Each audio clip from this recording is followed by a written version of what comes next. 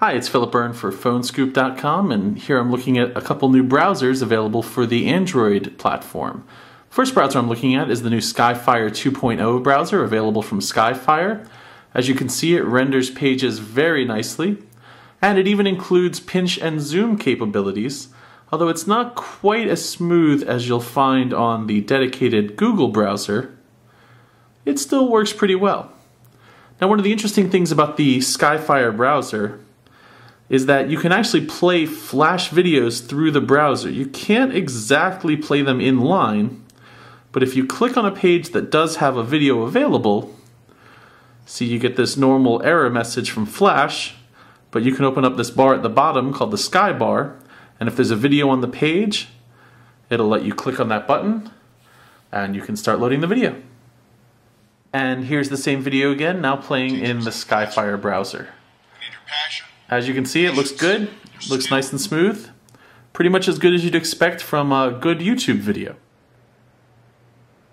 And Skyfire has a few other cool features on board too. For instance, if you want to share a web page, it has a share link right down here at the bottom, and you can instantly send that URL to your Facebook over text message or uh, email.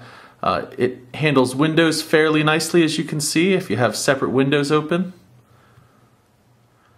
and it'll even at the tap of a button convert from a mobile looking page to those classic iPhone standardized page with the better touch layout. It sort of gives you some options there as well. And that is the Skyfire browser. Here's the second browser released recently for the Android platform. This is the new Firefox mobile browser, which is still going by its code name Fennec. Now, Fennec is a pre-alpha build, so you really are using this at your own risk, but it's already working pretty nicely and it's got some features that are just fascinating, stuff that I've never really seen anywhere else. Um, first of all, navigating around pages is not very easy. You can't pinch and zoom. There's no zoom tools hidden around. There's not even a menu. When you press the menu button on the phone, nothing really pops up yet. And this is about as close as you can get so that's obviously something that's going to need to be improved, but there's still enough here to recommend this browser if you want to give something interesting a try. For instance, you can search directly from the address bar on Google, Amazon, Twitter, or even Wikipedia. So you can search Twitter directly from the address bar Fennec lets you do tabbed browsing, and it really has one of the best ways of handling tabs on a mobile browser that I've seen.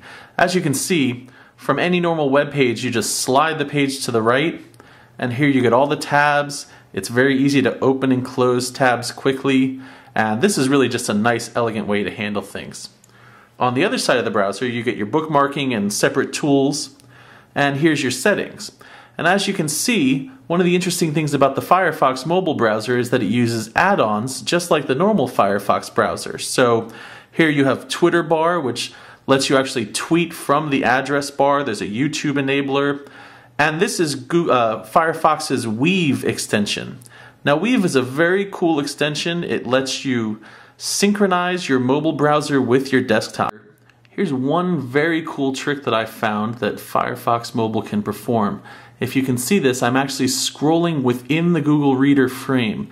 This is the first time I've seen a mobile browser that's able to properly handle a scrolling frame like this. So even though this is a pre-alpha build, clearly they've already done some very cool stuff with this, and I'm very curious to see what happens in the next versions. We'll definitely be keeping our eyes on the Firefox mobile browser.